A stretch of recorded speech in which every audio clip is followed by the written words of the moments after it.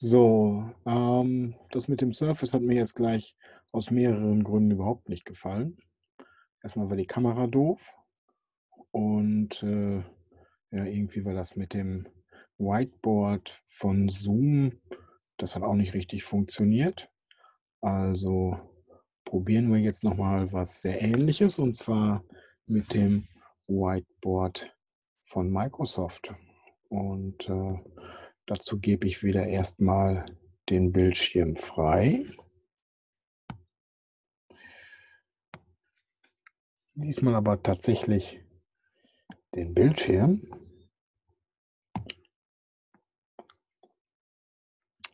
So, hm, ja.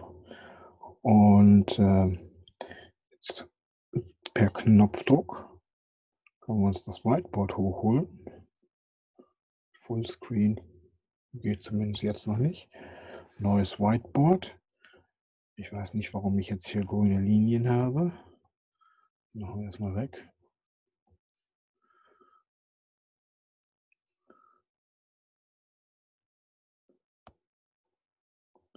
Und weiß hätte ich gerne.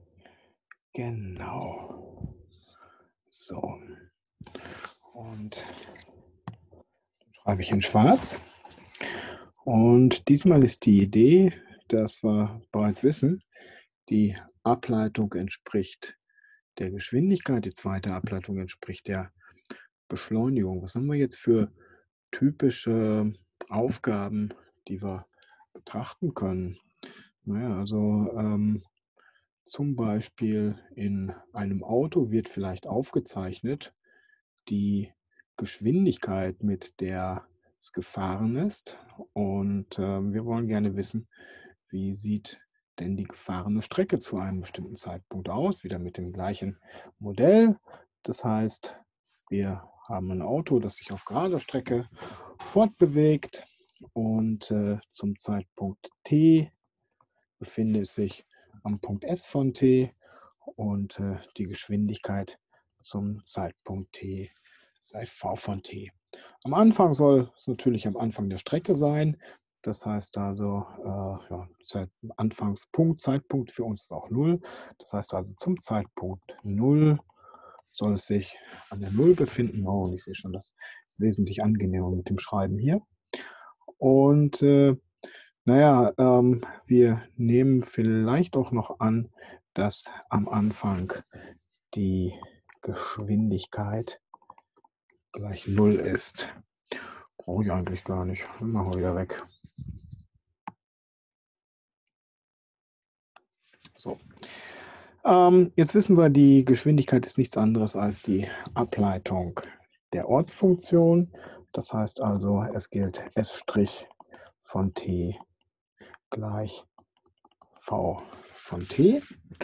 Und äh, ja, das ist ungefähr die einfachste Differentialgleichung, die ich mir überhaupt irgendwie vorstellen kann.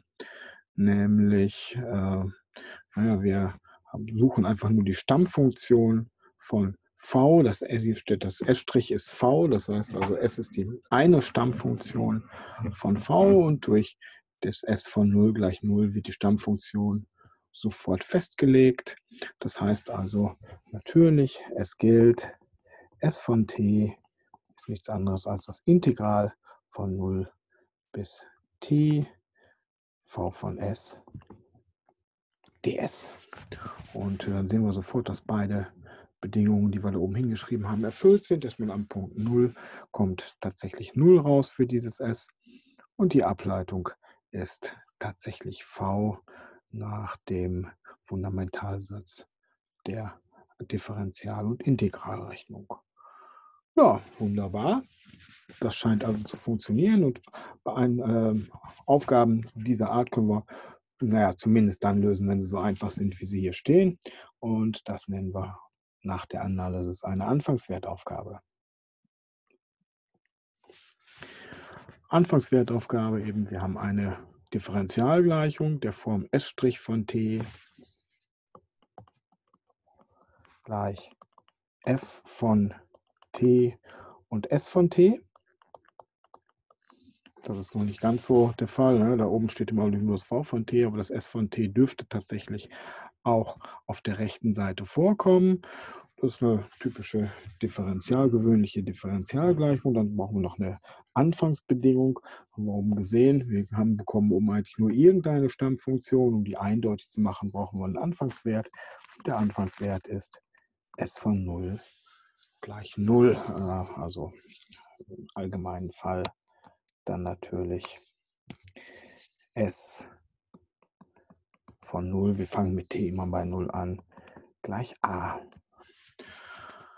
Okay, und das ist halt die allgemeine Form. Oben haben wir eine spezielle Anfangswertaufgabe und äh, hier unten haben wir eine allgemeine.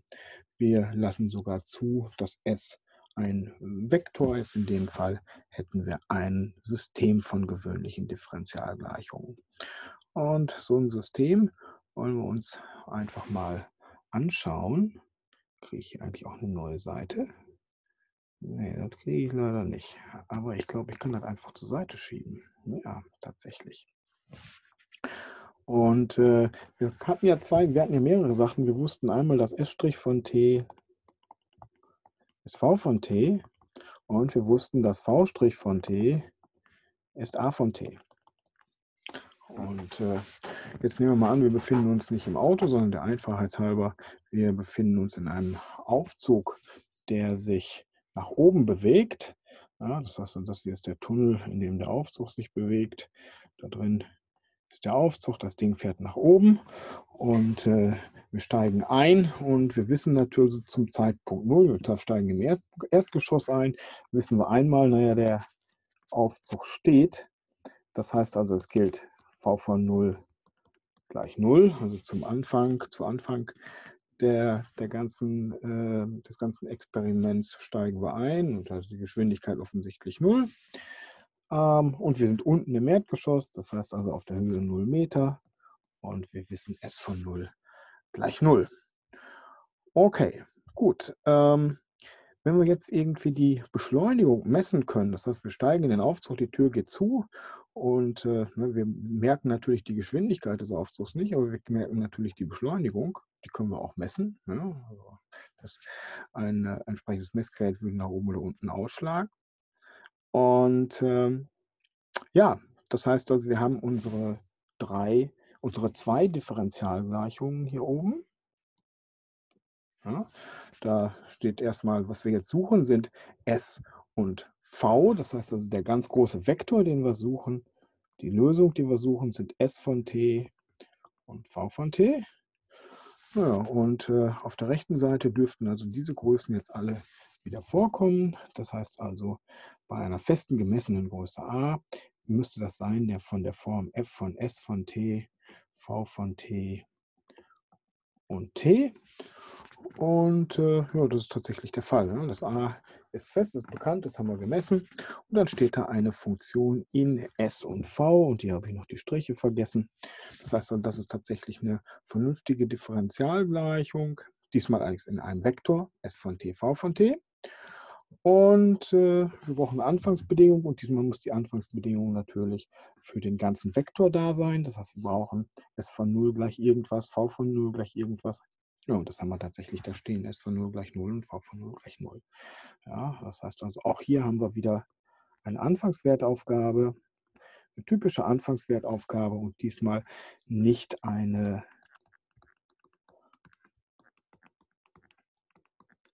und diesmal nicht eine Skalare, das heißt in einer Größe, sondern tatsächlich ein System von gewöhnlichen Differentialgleichungen, das natürlich immer noch genauso einfach zu lösen ist wie vorhin auch, denn da v' von t gleich a von t und v von 0 gleich 0 gilt natürlich, dass v von t ist nichts anderes als das Integral von 0 bis t a von s ds und äh, naja, also äh, ach, es ist vielleicht gar nicht so eine tolle Wahl, ich, sehe ich gerade. Und das habe ich vorhin auch schon mal gemacht. Dann machen wir hier oben das erstmal wieder raus.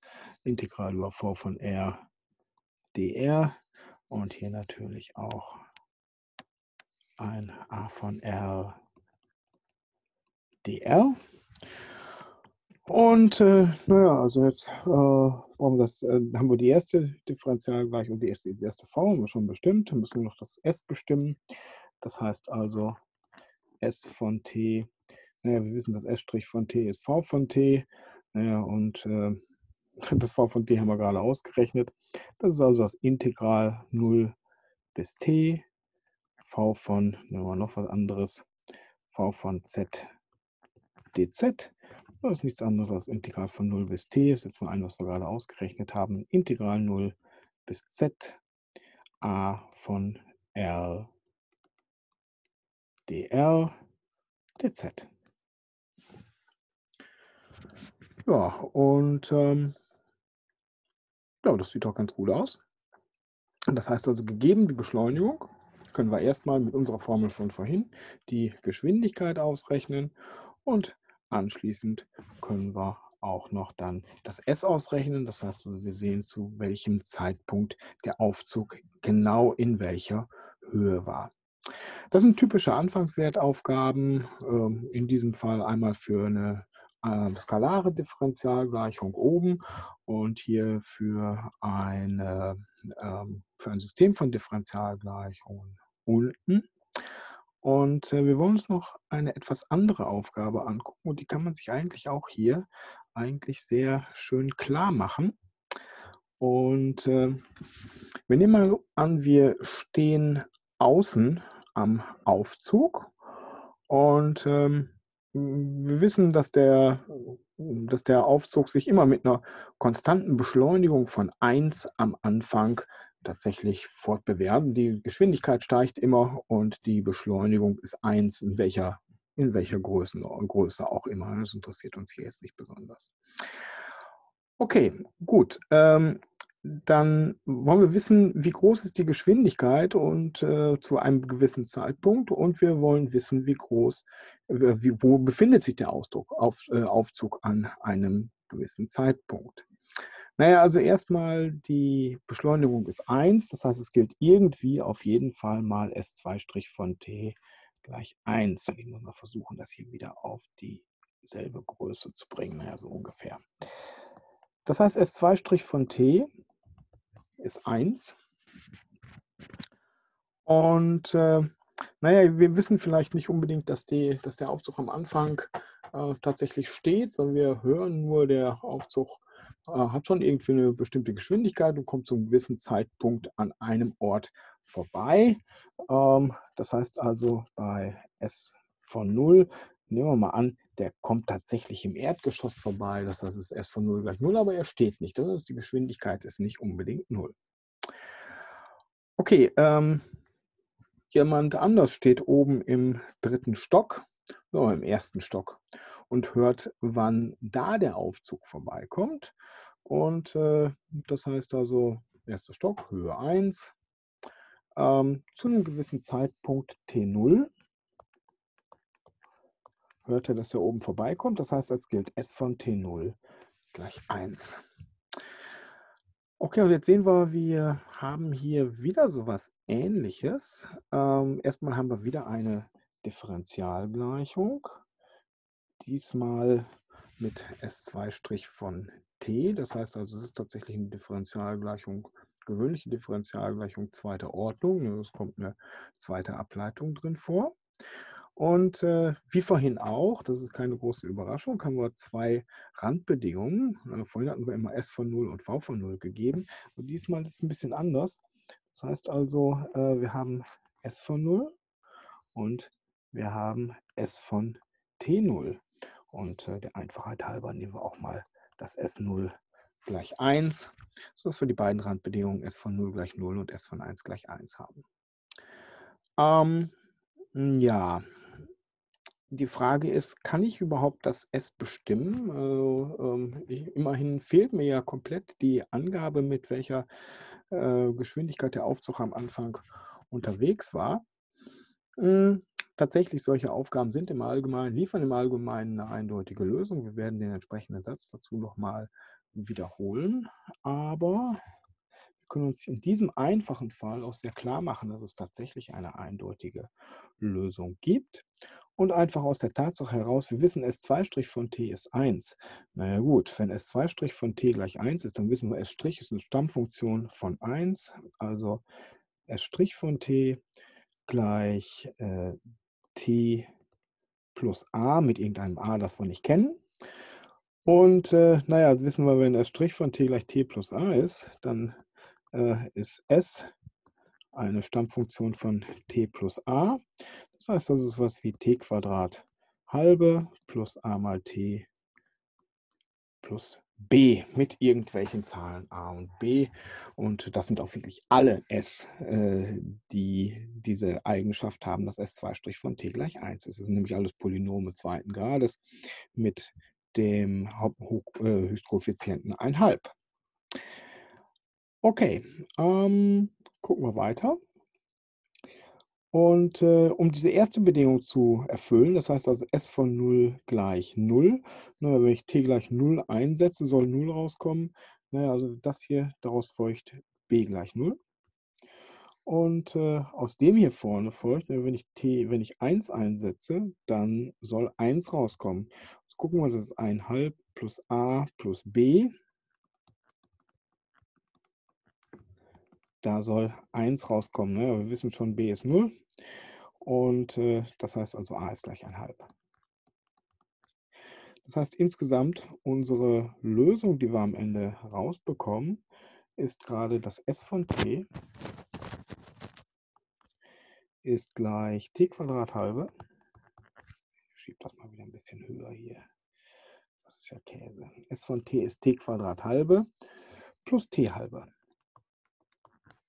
Naja, und da sehen wir natürlich erstmal, klar, die zweite Ableitung ist 1. Ja, t halbe, die Ableitung fällt weg. t Quadrat halbe Ableitung ist 1. Ähm, und dann setzen wir s von 0 ein. Naja, also s von 0 ist 0, wenn ich das so, an, so definiere. Und s von 1 ist tatsächlich gleich 1,5 plus 1,5 gleich 1. Das heißt tatsächlich, das hier ist die eindeutige Lösung unserer gewöhnlichen Differentialgleichung. Und äh, wir sehen gegenüber dem Beispiel mit den Anfangswertproblemen, mit den Anfangswert, äh, Anfangswertaufgaben hier zwei, ähm, ja, zwei Sachen, die anders sind. Erstmal ähm, haben wir hier tatsächlich eine zweite Ableitung stehen. Hatten wir vorhin auch im Grunde. Ja, also äh, da haben wir immer mit dem V äh, Strich gerechnet. Bezogen auf das S ist das auch die zweite Ableitung von S aber wir haben hier Randwerte vorgegeben, links und rechts. Das heißt also, wie sieht so eine allgemeine Randwertaufgabe aus? Erstmal, wir haben eine Differentialgleichung und äh, wir haben nicht an einer Stelle sowohl die Werte, äh, alles gegeben praktisch wie vorhin, also Weg und äh, Geschwindigkeit, also der Funktionswert und die Ableitung, sondern wir wissen, naja, hier vorne, da, durch diesen Punkt muss die Lösung gehen. Ja, das ist, wäre hier also jetzt der Punkt 00. Und es muss hier vorne durch diesen Punkt gehen 1,0. Und wir suchen einfach eine Kurve, die einmal die Differentialgleichung erfüllt und dann die durch diese beiden Punkte geht. Und äh, naja, das Ganze muss jetzt dann irgendwie so auf diese Art und Weise aussehen.